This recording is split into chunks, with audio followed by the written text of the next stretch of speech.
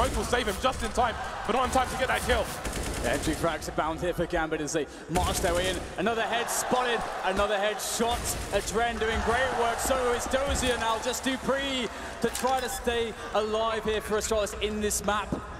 One versus five. The bomb is down. Could it be any more difficult? He'll find himself an engagement. Can't get the kill though. Another player spotted by the truck. Key information here for dupreeh, but still stuck by Bank. The entire team still alive. But Gambit, they know where he is. Grenades, additional grenades sailing in, and there it is. Gambit, they win the first map against Astralis.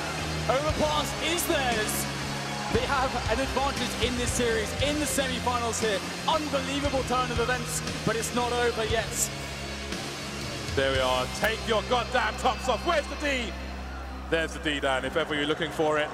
Massive game for Gambit. They take the lead. They take the pick of Astralis. A monstrous nuclear level performance from mou. 32 kills he ended with. Absolutely ridiculous performance against one of the best teams in the world it's really unthinkable. Again, it just for me, what I see out there on the stage is a different gambit, a stronger gambit. Just every single player performing so well. I can't imagine how they feel at the moment. Getting that first map